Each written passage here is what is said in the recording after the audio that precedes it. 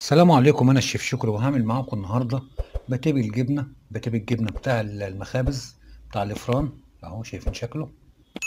شوفوا التوريقة بتاعته. ومحشي جبنة جميل جدا ومقاديره كلها اقتصادية. وإن شاء الله تجربوه ويعجبكم. وعلى بركة الله نبتدي الشغل عندي نص كيلو دقيق وعندي ربع كيلو مية عندي 65 جرام آه، سكر و65 زيت و10 خميرة وبيضة واحدة. آه هبدأ إن أنا أخلط المواد الجافة مع بعضها أهوت. عندي هنا السكر. عليه الخميرة. أهوت. عليهم ربع كيلو مية. وهدوبهم مع بعض كويس في جنب ال- البولة كده. أهوت. بدوب السكر. السكر لو ما دابش الوقت مش هيدوب في العجين وهيلزق. اهوت. بدوبهم كويس واتأكد إن السكر داب. أحط عليه البيضة اللي عندي. خدوا بالكم المقادير مقادير دي مقادير فران. اهوت. وعليهم الزيت. وهقلب كويس. وهعجن بقى عادي خالص لحد ما العجينة تلم معايا. زي ما قلت لكم إن ديت ال- المقادير دي مقادير اقتصادية يعني موجودة في كل بيت ما انتش ما انتش هتغلبي فيها يعني بس نتيجتها ممتازة جدا. والحاجات دي بتتباع بالواحدة وبتتباع بالكيلو وسعرها غالي مش رخيص وهتعملها بإيدك انت في البيت أحسن وأحسن من بتتعمل بره. العجينه طريه شوية ما تقلقيش هتلم هطلعها بره على شوية دقيق أهوت وهخدمها على شوية دقيق صغيرين كده. لأن العجينة طرية أصلا العجينة مفتوحة. اهو بلم العجينة كده بالراحة على تعفيرة الدقيق اللي أنا حاططها وبلم بقية الدقيق اللي أنا حطيته من على الرخام. آه. زي ما قلنا موضوع التخديم ده مهم جدا للعجينة ولأن هو بيتحكم في النتيجة بتاعه المنتج بتاعك. اهو وهسيبها تخمر ونشوف هنعمل إيه بعد كده. خمرت العجينة اهيت هعفرها بشوية دقيق كده لأن زي ما قلت العجينة طرية. خدي بالك أنا بعفر على خفيف خالص أهوت وهنزلها من البولة بتاعتها على على شوية دقيق برضو صغيرين. أهوت. وأبدأ إن أنا ألم العجينة كده علشان أعرف أشتغل بيها. لميت العجينة ودقيق فوق ودقيق تحت وهبدأ إن أنا أهوت. وأبدأ إن أنا أفرد العجينة. أهو. فردت العجينة بالشكل ده. عجينة خمرانة مليانة هواء. هدي لها طول. أهوت. بدي دقيق على طول طبعا. وهبدأ أفرد العجينة. أهو. مش عايز أكتر من كده. عندي 100 جرام زبدة. أي نوع زبدة عندك أي نوع زبدة عندك. زبدة نباتي حيواني أي نوع زبدة عندك هتحطيه هتحطيه بالشكل ده بشكل بسيط خالص أهوت كمان. وزعتهم في وسط العجينة في الوسط بس. وال 100 جرام دي دي زبدة جنة اللي أنا شغال بيها أهوت. هنحط ال 100 جرام ممكن يبقوا 50 كمان. مفيش مشكلة خالص هي بتتعمل ب 50 أنا مزود 50 جرام لأن أنا بشتغل في بيت يعني ما أنت هتعملي للبيت إنما المفروض تحط لها 50 جرام بس. وهطبق عليهم بالشكل اللي أنتوا شفتوه ده. أهوت من فوق ومن تحت. وهبدأ إن أنا أفرد العجينة.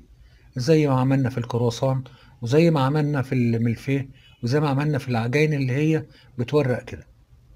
أهو. أول أول تكه ليك على العجينة دي بيبقى بالشكل ده. وهتفردي طول أهوت. مقدار آه، 100 جرام زبدة في في عجينة زي كده بتبقى آه، خفيفة خالص ما بتكلكعش وما بتقطع ما بتطلعش من العجينة و... يعني بتبقى سهلة خالص الشغل بتاعها أسهل من الملفيه والكرواسون آه فردت طول وفردت عرض أهوت زي ما أنتم شايفين. بس عايزك توصلي بالمردنة لآخر العجينة علشان الزبدة ما تكومش هناك. وهطبقها أول تطبيقة لينا أهي. أدي كده أول واحدة. وبرضو شوية دقيق فوق وشوية دقيق تحت. أهوت. وهبدأ إن أنا أفردها برضو طول. أهوت.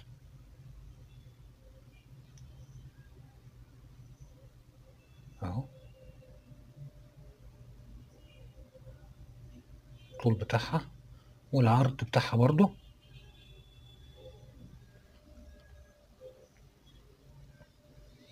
اهوت.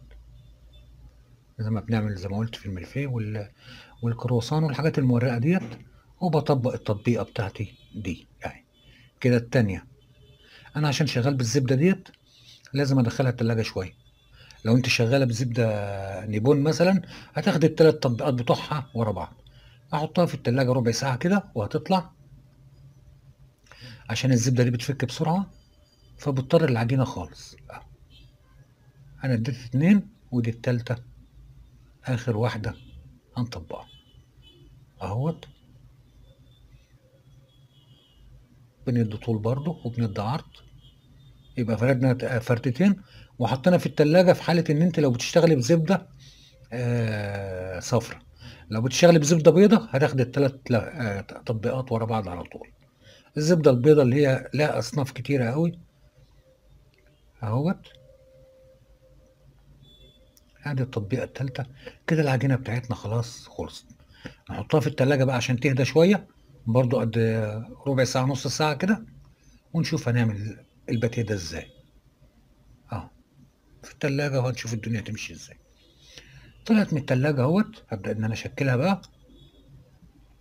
تعفر الدقيق فوق وتحت العادي خالص بتاع العجينة. وهبدأ إن أنا أفرد برضو طول بعرض أهوت وتظبطي إيدك وانت بتفردي كله يبقى سمك واحد أهوت. طول بعرض بنعمل الطول أهوت وهنقلبها قدامنا وهنعمل العرض بتاعها. أهوت. هنفرد بسمك نص سنتي. اهو زي ما أنتم شايفين ده نص كيلو دقيق اللي إحنا بنشتغل بيه ده. أهوت. فردناه خلاص.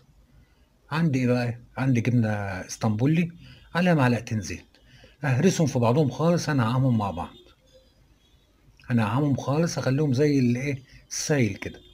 وعبيتهم في كيس بتاع المطبخ وقصيت طرفه بالمقص. وعلى طرف العجينة حطيت الجبنة وباخد الطرف أقفل على الجبنة أهوت. هتبلكوا في ال- معلش أنا آسف هتبلكوا في النص التاني أهوت. وبقفل على الجبنة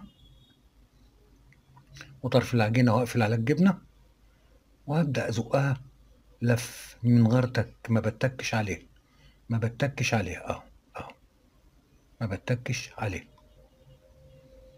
اهو عايزة تحط الجبنة بكيس ماشي بالمعلقة ماشي براحتك. المهم توزعيها وهسيب سنتي واقطع. سنتي واقطع. هتعرفي ليه السنتي ده؟ إحنا سيبنا دلوقتي. اهو هنعمل الرول التاني بقى. أهوت. وزعت الجبنة اللي باقية عندي في على طرف العجينة أهوت. وهاخد الطرف اقفل عليه. اهوت زي ما أنتم شايفين كده. اهوت. اهو.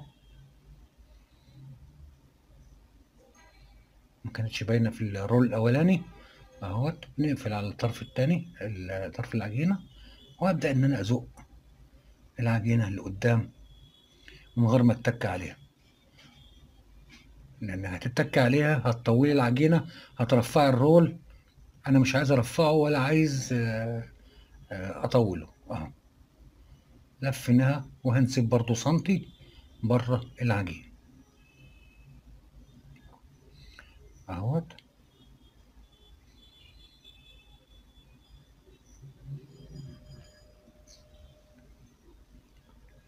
عندي صفار بيضة ما لهوش أي حاجة. هدهن بيه طرف العجينة ده اهو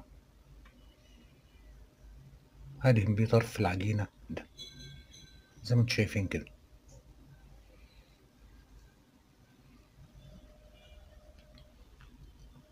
عشان تلزق جامد ما تفكش في الفرن.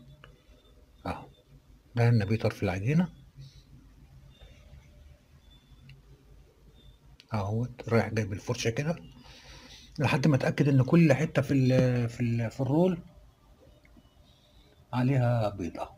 واقلب عليها العجينة واخلي القفلة لتحت خدي بالك بخلي القفلة لتحت أهو. وهعمل برضو التانية زيها وهبدأ إن أنا أقطعها. أقطعها أربع صوابع قيسي أربع صوابع اهمت وجنبهم بالسكينة ما تذبحيش التك تكة واحدة على طول أهو. قيس أربع صوابع والتك تكة واحدة. ما تفضلش السكينة رايحة جاية ده عجين مش لحمة. أهو. أربع صوابع والتك على طول بالسكينة عليها. هتقطع لأن هي هي العجينه يعني طرية خالص يعني. وبحطها وأخلي قفلتها تحت. اهو هيترصوا في الصينية بتاعتهم. أهوت أربع صوابع والقفلة تحت وهنكمل إحنا التقطيع. حطيتهم في الصينية أهوت بينهم مسافة لأنه هيخمر وهيكبر. أهوت وهنسيبه يخمر والقفلة بأكد على القفلة تبقى تحت مش في الجنب تحت. نسيبه يخمر ونشوف الدنيا هتعمل إيه. خمر اهوت زي ما أنتم شايفين ولسه هيخش الفرن يط... آه آه حجمه هيكبر كمان. على 190 على الشبكة اللي في النص وهو طلع أهوت. شكله جميل خالص. لو انت عايزه تلمعيه بيض لمعيه مش عايزة. أنا ما لمعتش بيض أهوت زي ما أنتم شايفين. ده اللون بتاعه ولونه مقبول بالنسبة لي مفيش فيه مشكلة. أنا في بيت مش في مش ببيع. أهوت. ادي شكله بعد ما برد خالص. واستوى اهوت جميل خالص. وطعمه أحلى من شكله زي ما نقول فعلا يعني. اهو. اهو ده كده مش مدهون بيض. عايزة تدهنيه بيض يبقى صفار بيضة مع معلقتين لبن ودهنيه قبل ما يخش الفرن. أنا ما دهنتش زي ما قلت. أنا بالنسبة لي اللون ده مقبول ما عنديش مشكلة معاه خالص. عايزاه انت بقى أحمر بي بيلمع كده وموضوع تاني. ماشي مفيش فيه مشكلة. أهوت. بس أنا بعمل بأقل حاجة آه في الشغل يعني. يعني لو مش محتاجه بيض ما بدهنش البيض. شكله كويس وطعمه جميل جدا. وتعمليه هيشتغل معاك في حاجات كتيرة قوي. والمدرسة تدخل تاني أهوت أظن بيروحوا تلات أيام ولا أربع أيام مش عارف.